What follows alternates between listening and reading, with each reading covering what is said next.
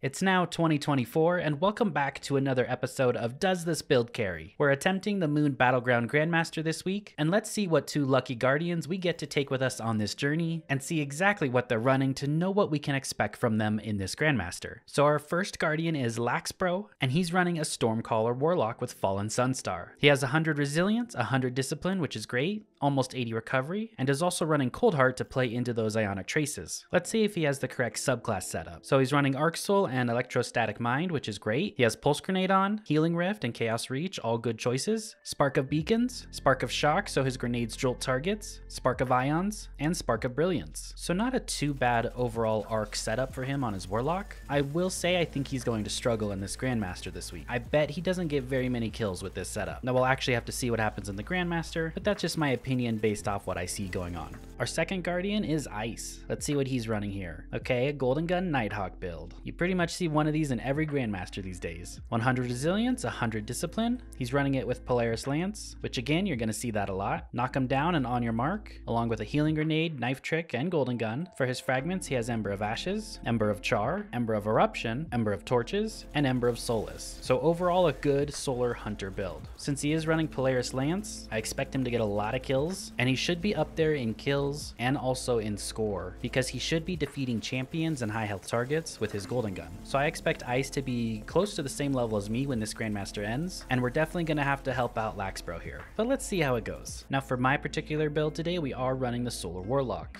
Our main weapon we're taking advantage of is Tommy's Matchbook. Polaris Lance is still a good choice here. Also Hierarchy of Needs is a great choice as well, the Solar Bow, but I really like Tommy's Matchbook because of the damage output, and you're to see why that plays into this build so strongly. With the Catalyst of Tommy's Matchbook, you Scorch when you get the Ignition trigger procced, and they changed this a season or two back to deal less damage to you, and it can't kill you anymore either when you're burning. So now a Restoration times one keeps you alive with Tommy's Matchbook. So if you use something like Precious Scars on a tie-in, it's really fun. In our primary, we're using Scatter Signal. This is to apply the Unravel debuff, the Slice debuff, and to create Threadlings, two of which come from the artifact, and Slice comes from the weapon itself, and then on our Heavy and Apex Predator with Reconstruction and Explosive Light. Now for our subclass, we have Heat Rises and Touch of Flame. Touch of Flame to give us Restoration times 2, Heat Rises to give us melee energy when we kill something when we do a little bunny hop. We take the Healing Grenade for Restoration times 2, Incinerator Snap, Healing Rift, and Well of Radiance. For our first fragment, we take Ember of Ashes. This allows Tommy's matchbook to ignite things much quicker. Next, we take Ember of Benevolence. This is an infinite 400% regen on all our abilities, and we proc this by applying Restoration to our fire team. This is done through our Healing Rift, which is considered Restoration times 1. It's also done through our Healing Grenade and through our Well of Radiance. So three different ways to proc this, so you should have this up all the time. Next, we take Ember of Empyrean. This just allows our Tommy's Matchbook or our Rocket Launcher to chain Restoration and Radiant for us. This isn't as important, but in easier content, it's just a great quality of life to have. And then we take Ember of Singeing. Your class ability recharges faster when you scorch targets. Since Tommy's Matchbook intrinsically scorches targets, this is a 300% regen on our class ability, plus you have Benevolence on top of that giving you 400%. So you should have your class ability up all the time, which is key to keeping you alive with Tommy's Matchbook. And then you add in the Healing Grenade for extra survivability and the Well. We take 100 Resilience with this build, 100 Discipline, and we even got 70 Recovery. And then for exotic, we take Phoenix Protocol. Kills and assists you make while standing in your Well of Radiance returns super energy. This caps at 50%, but you get that 50% back so quickly, which means our other 50% needs to come from damage dealt. The best way to do this is with an exotic primary weapon that outputs a lot of damage, like something like Wishender. But since we're playing into Solar, we take Tommy's Matchbook that also does put out a ton of damage. We take Heavy Ammo Finder and two Harmonic Siphon for Orbs of Power, Impact Induction, and Focusing Strike, so our melee gives us grenade and class ability energy. Your chest piece is your damage resistance, and your boots is triple solar weapon surge for a 22% weapon damage bonus all the time on that Tommy's matchbook. And then on our class item, we take time dilation to extend that duration and Reaper to spawn an orb of power. For the artifact mods, really the only important ones here is Horde Shuttle and Unraveling Orbs. This allows our Strand Fusion Rifle to apply these debuffs for us. And then we also do take Flint Striker so we can become Radiant with rapid precision hits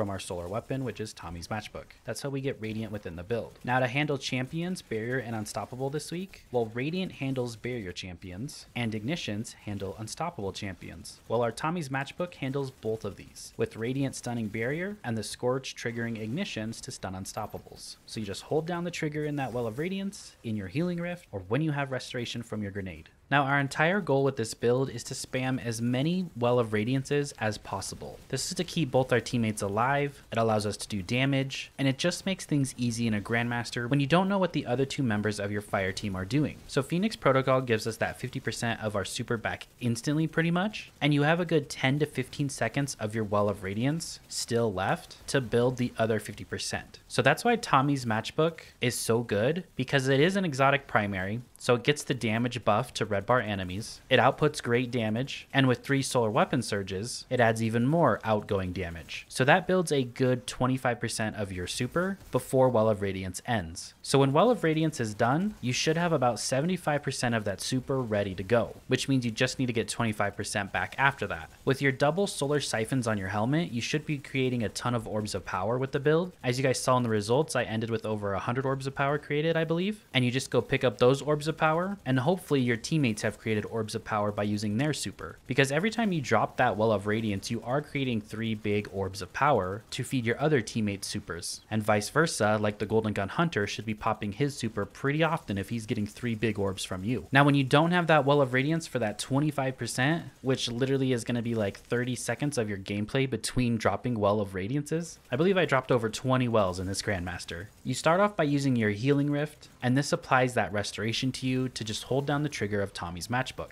Since Tommy's is intrinsically scorching targets, your class ability will have a 300% increase in recharge all the time. So technically you should get your healing rift back before it's ran out as long as you're shooting enemies. But just in case you don't, that's where Ember of Benevolence comes in and your two teammates just have to step in your rift one time to proc that 6 seconds of 400% regen to your rift. And that's not including if you use your healing grenade. And the way I like to use my restoration times 2 healing grenade is just doing my finger snap and then throwing the healing grenade on the ground or throwing the healing grenade first and then snapping. If you get a good snap off on enemies, it's going to cause an ignition and probably kill a lot of red bar enemies, which just instantly procs Ember of Empyrean to shoot your restoration times 2 all the way up. And then of course you still have Ember of Benevolence if your grenade did tag somebody else on your fire team and procking more regen. And the biggest thing I can tell you is as soon as you get your well, just drop it. You're to have it back so often that you might as well just use it. Because if you're holding on to those supers and grandmasters, you're just making your life much harder and much more difficult. Keep dropping your well the moment you guys get it. And you golden gun hunters, I've seen too many of you guys holding on to that as well. So start using your golden guns more often than not. I hope you guys enjoyed this video. I hope you found it helpful. Thank you so much for watching. And I look forward to making a ton of Destiny 2 builds throughout the year of 2024 with you all. And thank you so much for watching my content and always sticking around and supporting the channel. You guys have no idea how much it means to me, and you truly have changed my life if you still are watching at this moment. Thank you so much.